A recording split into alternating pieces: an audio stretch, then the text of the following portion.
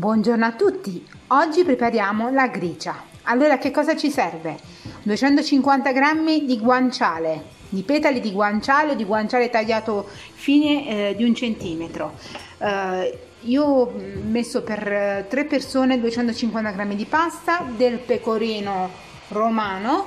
Allora abbiamo già acceso la pentola dell'acqua perché aspettiamo solo il bollore per buttare la nostra pasta. Abbiamo acceso qui il nostro fornello per scaldare la pentola perché praticamente nella prima fase dobbiamo mettere a scaldare in questa pentola il nostro guanciale senza ehm, quando la pentola sarà calda senza l'aggiunta eh, di, di, olio. Quindi lo facciamo diventare bello scricchioloso e dopo ci aggiungiamo un mestolo di acqua per rallentare quindi la cottura. Nel frattempo che si cuoce la pasta ok? Ma dopo vi faccio vedere tutte le fasi piano per piano, eh, piano, piano.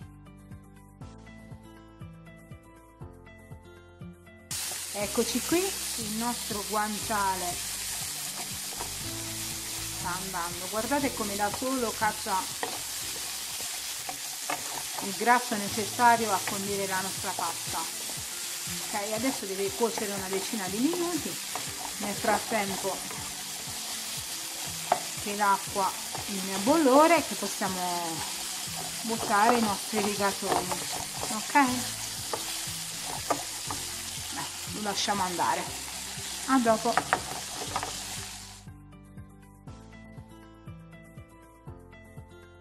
Eccoci qui, la nostra acqua sta bollendo, i nostri rigatoni della rum sono pronti, li inseriamo dentro,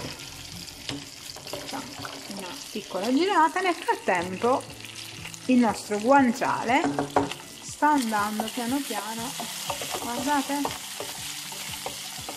perfetto. Lo facciamo fare bello arrostito eh? bello squicchioso. Mi raccomando e facciamo sciogliere tutto il grasso che ci servirà quindi per condire la nostra pasta. La nostra gricia ok? A dopo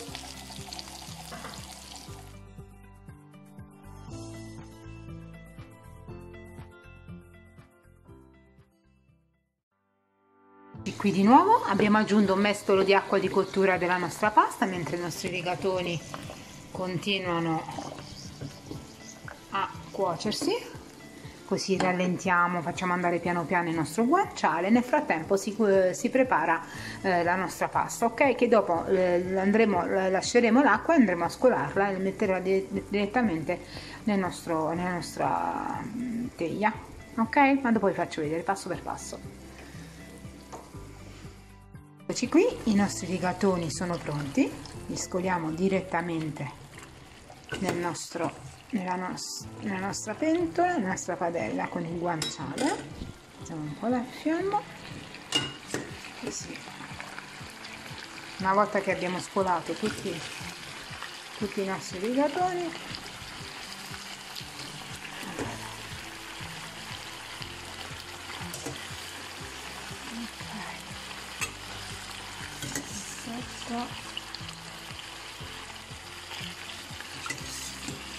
olio